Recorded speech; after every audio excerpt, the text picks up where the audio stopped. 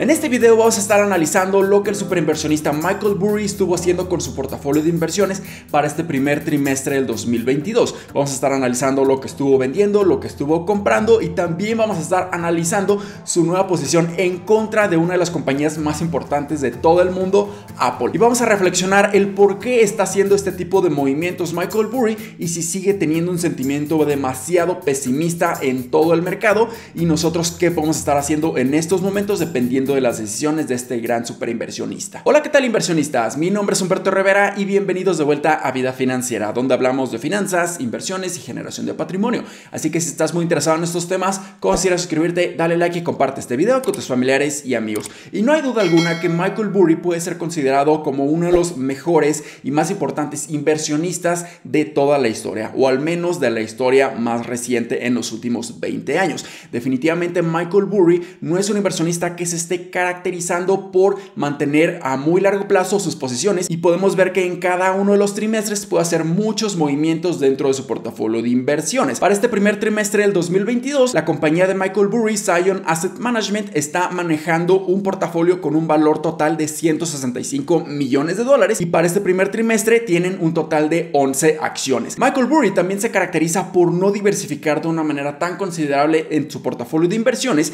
y de hecho de estas 11 posiciones que tiene en su portafolio, 10 fueron completamente nuevas para este primer trimestre del 2022. Así que esto es muy muy interesante a considerar, pero comencemos primero con las posiciones que estuvo vendiendo por completo durante este primer trimestre del 2022 y vemos que las posiciones que vendió por completo fueron Fidelity National Financial, General Dynamics, AEA Bridges Impact Corporation, Geo Group Incorporated y Core Civic Incorporated. Y prácticamente de estas cinco posiciones que vendió por completo para este primer trimestre del 2022, no tengo absoluto conocimiento de ellas, ya que estas son muy, muy específicas en ciertas áreas económicas del país de Estados Unidos. Pero lo que sí puedo estar opinando definitivamente es su apuesta en contra de una de las compañías más importantes de todo Estados Unidos, y esta empresa es Apple. Como pueden observar en esta tabla, lo que vemos es que estuvo comprando opciones put. Esto nos está diciendo que Michael Burry simplemente está apostando en contra o en corto de esta compañía Apple, debido a que, como ya lo había mencionado en algunos otros videos,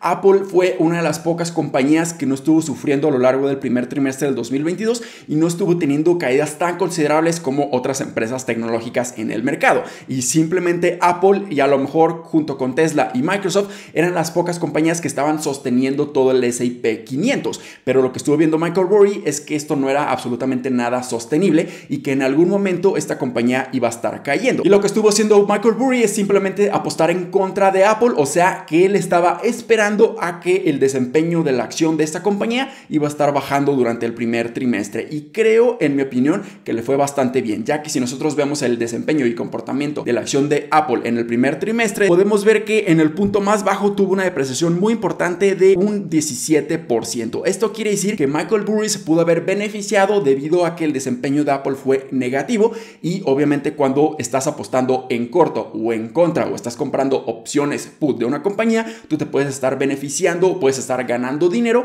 cuando esta compañía empieza a caer en valor. Pero lo que no sabemos es cuándo Michael Burry estuvo comprando estas opciones put. No sabemos con exactitud si fue durante los primeros días de enero o si fue durante febrero o si fue durante marzo. Definitivamente esta apuesta en contra de Apple es muy muy interesante debido a que Michael Burry definitivamente no cree que esta compañía es una mala compañía o es una mala empresa que simplemente ya va a estar en decadencia y ya no va a estar generando esos grandes crecimientos. Definitivamente lo que está haciendo Michael Burry en este momento es simplemente estar aprovechando una oportunidad que está viendo los mercados en donde simplemente Apple seguía manteniéndose muy muy estable y con un rendimiento bastante positivo a lo largo del primer trimestre del 2022 y lo único que estaba esperando él es que cayera un poco junto con el mercado, pero este tipo de jugadas son a muy corto plazo. Definitivamente Michael Burry no se caracteriza por mantener todas sus posiciones a muy largo plazo y le gusta estar jugando con su dinero haciendo este tipo de apuestas que realmente son completas apuestas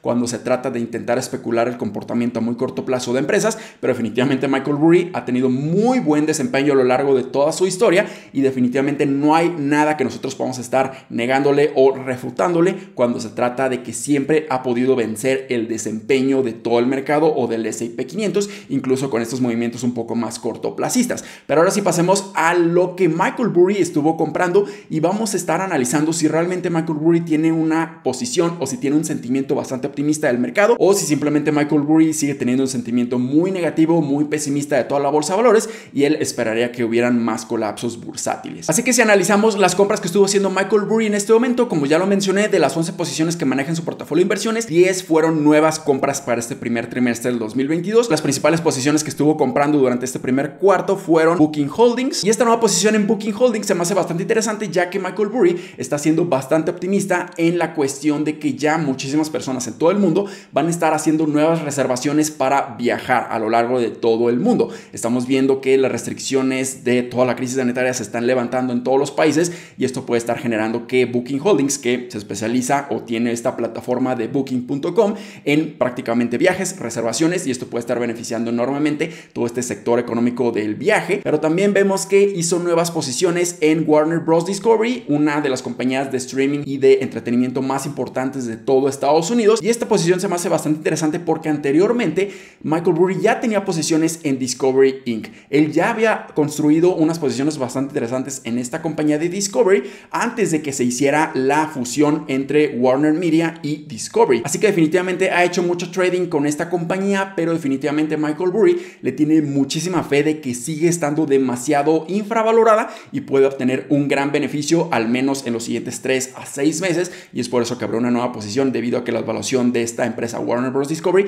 es muy muy barata. También vemos que abrió nuevas posiciones tanto en Google y en Meta Platforms, o sea, Facebook. Está viendo que tanto Google y Meta de todas las megacaps pueden ser las que mejores valuaciones tengan de todas estas FANG o estas megacaps, por lo que puede estar captando un excelente desempeño, un excelente rendimiento a lo largo de los siguientes 3, 6 a 1 año. Probablemente Michael Burry mantenga su posición si ve una gran recuperación económica y en la bolsa de valores y en ese momento pudiera estar vendiéndolas. Pero esto es muy muy bueno debido a que tanto Warner Bros. Discovery como Google y como Meta, yo personalmente las tengo en mi portafolio de inversiones y esto me da aún más convicción de mantener mis posiciones debido a que yo hice personalmente mi análisis y creo que aquí estoy completamente de acuerdo en los movimientos y en las inversiones que está haciendo Michael Burry. Yo, a diferencia de Michael Burry, quizá tenga estas posiciones a muy largo plazo. Quiero mantenerlas a, digamos, 2, 3, 5 o incluso más años, pero definitivamente esto me da aún más convicción de que mantenga mis posiciones y esto me da mucha certeza de que estas van a estar desempeñándose